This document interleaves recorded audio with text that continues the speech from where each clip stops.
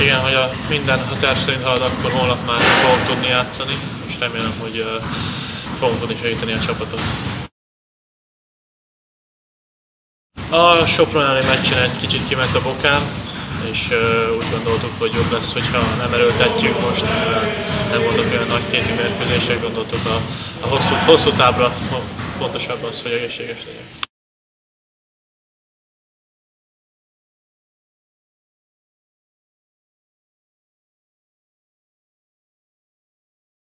Hát teljesen mindegy, hogy most igazából mi a tét, ugye szólnokon a Tiszeligetben mindig uh, pikáns mérkőzések szoktak lenni, úgyhogy uh, holnap is erre számítunk, szerintem jó hangulat lesz, és uh, nyilván mi is győzni megyünk.